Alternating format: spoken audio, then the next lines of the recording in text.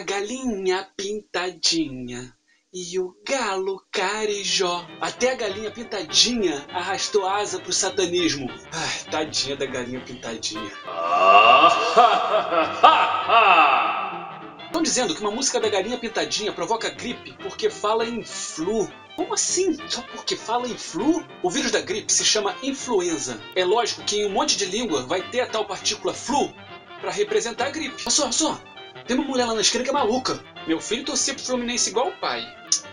O pai não deixou de ser tricolor, mas não vai mais no estádio. Sempre quando ele voltava de lá, ele voltava com gripe. E tem outra. Aqui em casa a gente só usa creme dental sem flúor. Porque a partícula flu não entra aqui. De jeito nenhum. Quem é que vai querer ter gripe?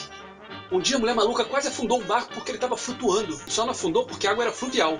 É claro, a água fluvial também dá gripe. Portanto, meu filho não bebe mais água, só refrigerante. Mudou uma senhora lá pra terceira casa que é do signo de câncer. Eu torço por ela. A filha é de virgem, já tem um filho, não sei como é que consegue. Pior o marido dessa menina, é do signo de touro. Ela deve trair ele com um beijinho, né? O neto dessa senhora é do signo de gêmeos. O outro deve ter morrido. Só não entendi a história do primo, que é do signo de leão.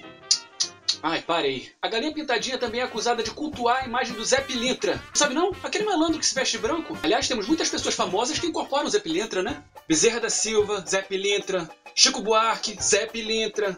Paulinho da Viola, Zé Pilintra. Ah, ele não tá vestido de malandro. Mas ele é um malandro. Zé Pilintra, Zé Pilintra, Zé Pilintra, Zé Pilintra, Zé Pilintra. E ainda tem aquele monte de gente que faz pacto com o diabo, né? Xuxa, Fofão, Luan Santana, Dani Bolinha, Mara Maravilha. Mara Maravilha? Como assim? E como se não bastasse toda essa maluquice, ainda dizem aqueles que quem cultua o triângulo também tá cultuando o diabo. É, o triângulo. Triângulo. Uh. Por exemplo, a arquitetura de Brasília é toda formada por triângulos. Isso, esses triângulos aí, olha só. Se é que isso pode ser chamado de triângulo, né?